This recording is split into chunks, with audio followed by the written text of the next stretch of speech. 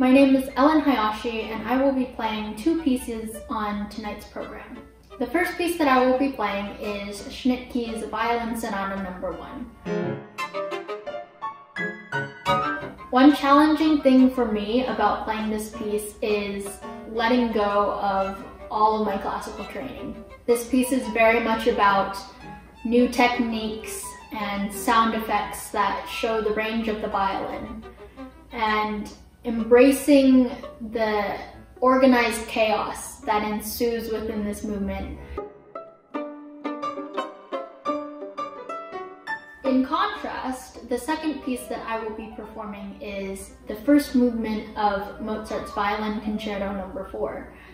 To me, this concerto is the literal definition of classical violin playing.